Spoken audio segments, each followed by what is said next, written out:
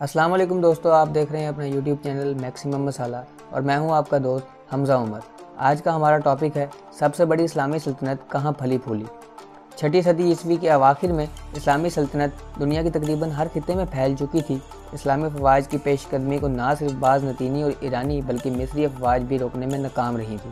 اموی خلیفہ عبد الملک بن مروان نے سپہ سلار موسیٰ بن نصیر اور حسن بن النمان کی سربراہی میں بالترتیب شمالی افریقہ اور یورپ کی طرف فوجی مہمیں روانہ کی، جن میں دونوں سپہ سلار فتح سے ہمکنار ہوئے۔ اس کے بعد سات سو عیسوی کے اوائل میں اموی خلیفہ ولید بن عبد الملک نے ہندوستان اور اسپین کی طرف بالترتیب محمد بن قاسم اور طارق بن زیاد کی سربراہی میں افواج روانہ کی۔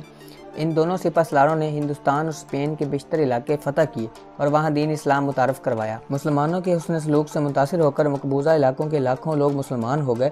بعد ازاں مراکش کے مسلمان بربر قبائل کے سردار یوسف بن تشفین نے اسپین پر حملہ کر کے عیسائیوں کے وہاں بڑھتے ہوئے عمل دخل کو روکا۔